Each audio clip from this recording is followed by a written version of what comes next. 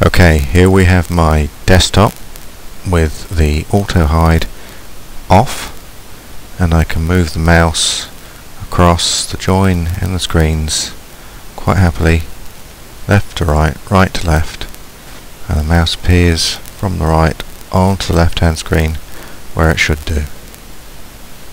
If I now switch the auto hide on and there we go, everything's cleared nicely if I switch across it flies immediately across to the left hand side of the left hand screen.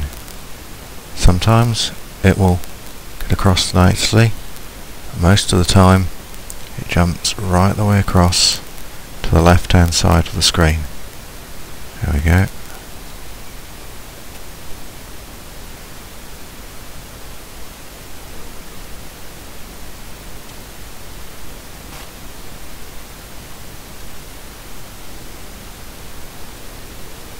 And if I switch it off again everything's moving across just as it should do again.